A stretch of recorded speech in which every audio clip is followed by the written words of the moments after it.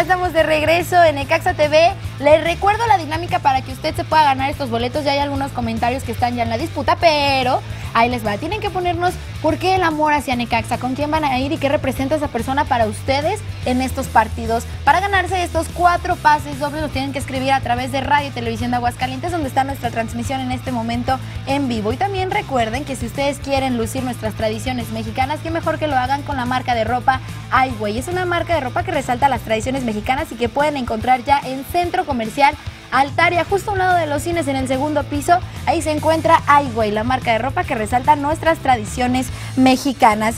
Y pues bueno, vamos a platicar ahora sí, chicos, de lo sucedido el pasado martes, en donde, bueno, pues Necaxa es eliminado de la Copa MX y además, bueno, se pierde el invicto de un año de mantener la Copa aquí en casa invicta y además también invicto de este torneo sin perder en casa, chicos. Sí, como, bien comentas, Pau, hoy estamos viendo justamente las imágenes. Eh, el martes a las 7 de la noche en el Estadio Victoria. Eh, no sé cómo lo vean, compañeros, un partido, la verdad, que me sorprende. Eh, yo creo que se lo toma muy en serio el conjunto de León.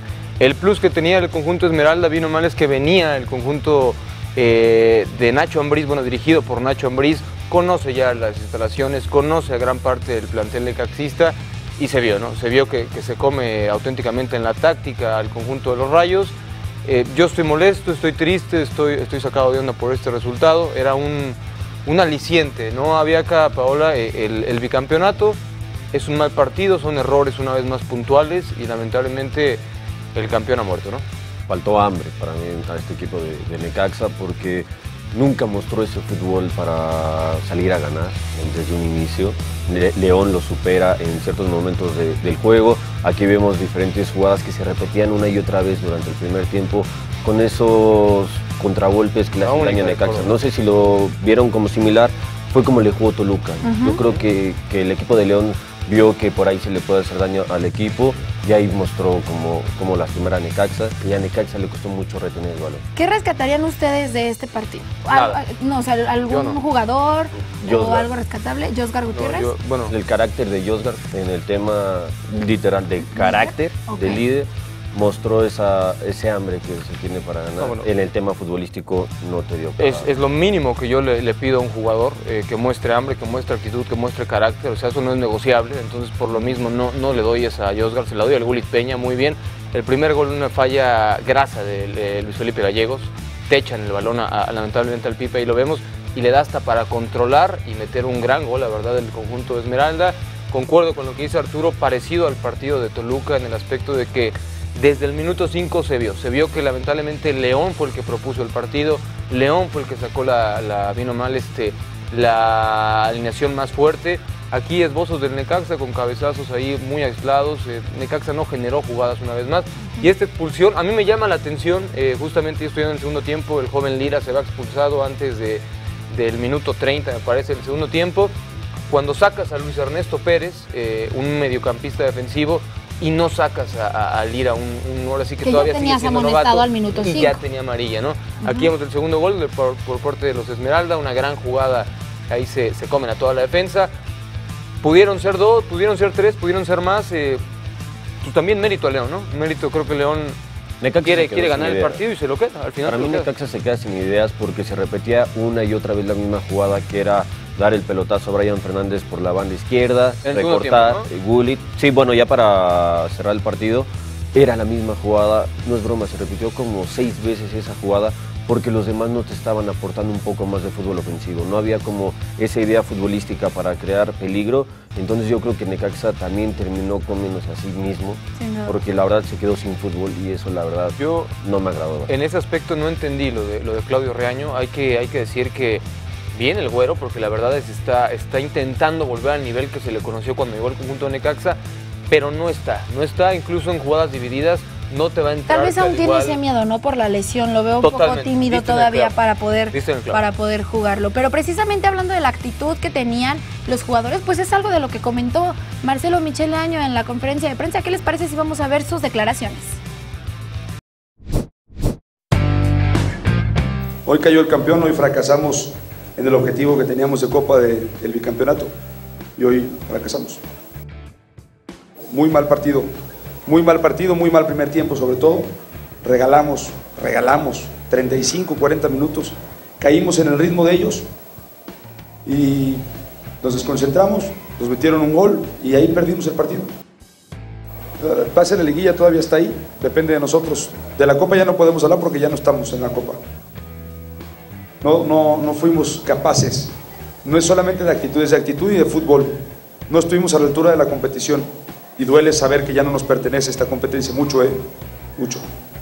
Somos los actuales campeones y duele, duele muchísimo. Eh, en la liga quedan siete partidos y nosotros queremos buscar 15 puntos que nos permitan meternos, por lo menos.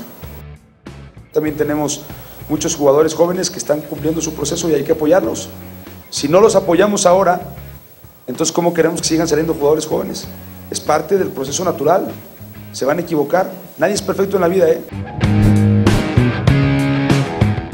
Pues ahí estuvieron las palabras del director técnico de Necaxa, Marcelo Michelaño, chicos, que se le notaba la, la, molestia que tenía precisamente después de haber perdido este partido. Sí, no es para más, no es para más, insistimos, era el actual campeón, él mismo lo dice, que querían, que querían este, bien o mal, ser bicampeones en este torneo. El equipo que Necaxa, eh, más bien el torneo que Necaxa juegue, se necesita un poco más, un plus.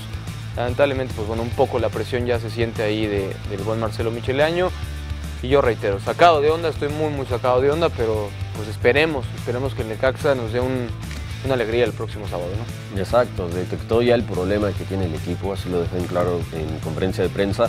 Ojalá que se solucione, que tenga esa variante para mejorar al equipo, para solucionar estos problemas y que en liga se le apuesta todo, porque es lo único que te queda ahorita. Hablando precisamente de la liga, pues ya es lo que sigue. El siguiente encuentro, hay que cerrar este capítulo, la Copa ha terminado para Necaxa y lo que viene es ahora buscar los próximos 15 puntos que puedan permitirte estar entre los ocho primeros para que entres a la liguilla. Vamos contra Santos este sábado en el Estadio Victoria a las 9 de la noche, chicos. Dios mío. Un encuentro que tiene que ser, digamos, es complicado por el estado anímico que también traemos de las dos derrotas consecutivas, tanto en Toluca como con León, pero que creo que si seguimos con la marcha de liga en casa, puede ser algo bueno.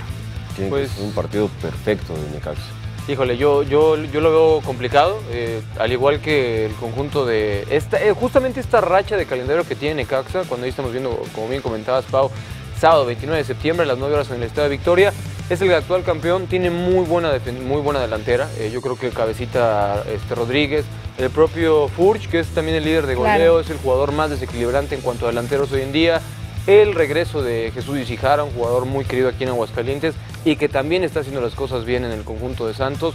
Va a estar complicado, va a estar bastante complicado. Eh, el ambiente, el ambiente probablemente no ayude tanto a los Rayos de Necaxa por las dos derrotas que estamos comentando. Una duele muchísimo como es en Copa y una te deja muy, muy problemática la clasificación.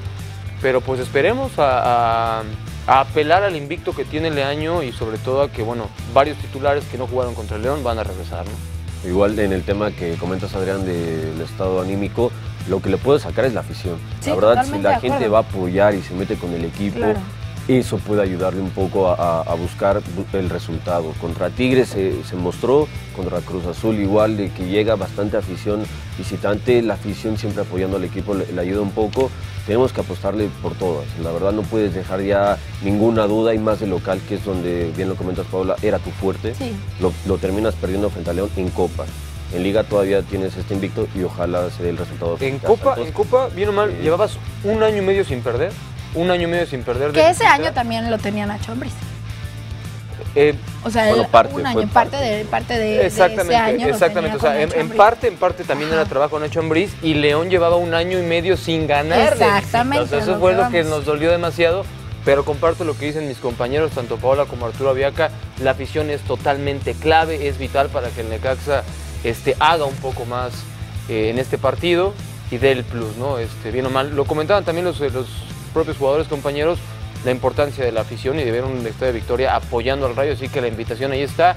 Sábado 29 de septiembre a las 9 vayan a apoyar al Rayo que se necesita y muchísimo, por favor. Precisamente para que nos visiten, ya les dimos la opción de que se queden en Gran Hotel Alameda, pero también qué les parece si cuando vengan organizan de una vez su tour y se van a Viñedos Casa Leal, ya que les ofrece los mejores recorridos donde conocerán los diferentes procesos de la uva, así como los productos que tienen para ti. Es una empresa orgullosamente hidrocalidad recomendada por el buen Adrián Genis, por Martín Barragán, que también ya le habíamos, le habíamos dicho que, que Viñedos era para él Así que Viñedos Casa Leal te invita a que conozcas estos recorridos. Y recuerden, pues llegar con tiempo, irse temprano a los viñedos, quedarse en Gran Hotel Alameda. Por supuesto, ya después ir al partido. Este partido que recordemos es este sábado a las 9 de la noche. Los boletos nosotros se los vamos a dar, así que usted no se preocupe, cuatro pases dobles. Chicos, el pronóstico para ustedes de este partido, Vámonos. que sin duda alguna volvemos a lo mismo, va a ser complicado, pero para mí se tienen que rescatar estos tres puntos para iniciar una racha de triunfos ver. y finalmente conseguir los Compañeros, ¿lo que yo quiero o lo que creo que va a pasar? Es ayúdenme, sí, ahí, hay dos. ayúdenme ahí, Híjole. ayúdenme, por favor. ¿Tu pronóstico? Empezamos la- las damas, por favor. Yo me voy a ir por un 1-0. No creo que sea una gran este, fiesta de goles, la verdad. Pero sí me voy a ir por 1-0. Uno Y cerito, a- me gusta. Sí, me gusta, me 1-0. gusta, Yo pienso que sí. Me gustaría que fuera gol de Brian Fernández, la verdad, pero no estoy segura de que entre como titular. Señora Viaca, 1-1. 1-1. ¿Tu pronóstico? ¿El tuyo? yo también digo que quedan 2-2. Va, va a empatar Necaxa, no va a ser un partido nada fácil. Insisto, tiene muy buena ofensiva el conjunto de Santos. Necaxa es por donde está fallando la defensiva, pero confiamos, confiamos en que los rayos saquen puntos de victoria. Ojalá que así sea. Recuerde que la invitación está hecha para que ustedes vayan. Chicos, nosotros de verdad se nos acabó el tiempo y quisiéramos No estar eso. hablando mucho No más con eso. ustedes. También que me la pasé con ustedes, chicos, a pesar de que andan bravos. Por cierto, saludos al señor Arturo Reyes, ¿no? Sí, un besote. Arturo Reyes, de verdad, un besote. Muchísimas gracias, Emanuel, a César López, por supuesto, a todos los camarógrafos y la producción que hace posible que esto llegue hasta sus hogares. Nosotros le mandaremos un inbox, un inbox a los ganadores que ya están, por supuesto. Muchísimas gracias por haber participado con nosotros. Nos vemos en la próxima, chicos. Gracias. Por esos rayos. Era así, creo.